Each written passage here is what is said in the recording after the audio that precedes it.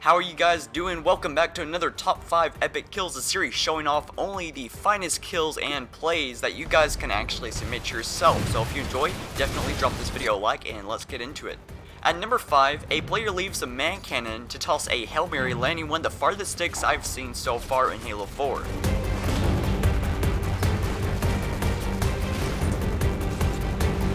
Next up on number 4, a horrible death for anybody in the Warthog, and as if the Stomp of the Mantis wasn't already incredibly powerful.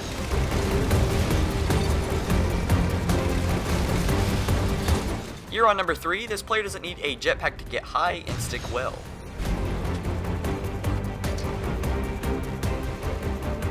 Here on number 2, just loving how this went down. A frag grenade Hail Mary is executed very nicely, then immediately after the player reacts and misses their shot, but to the surprise, of course, they still get their kill. So lastly, on our number 1 clip, one of the amazing things I love to see in a game or even accomplish myself this player rips a flag carrier out of the Warthog, finishes off the driver in an airborne spinning disaster, and somehow he still pulled off the no-scope. I really do like this. An excellent execution.